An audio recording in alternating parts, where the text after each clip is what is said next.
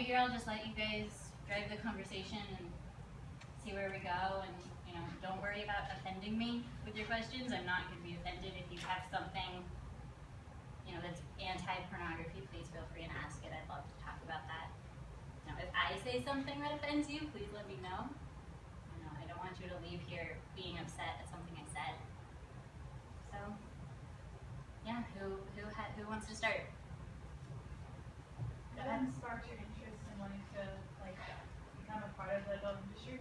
Yeah, so I was in college.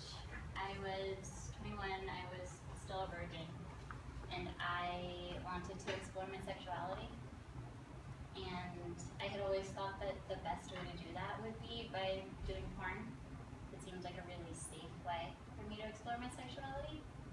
So I started fetish modeling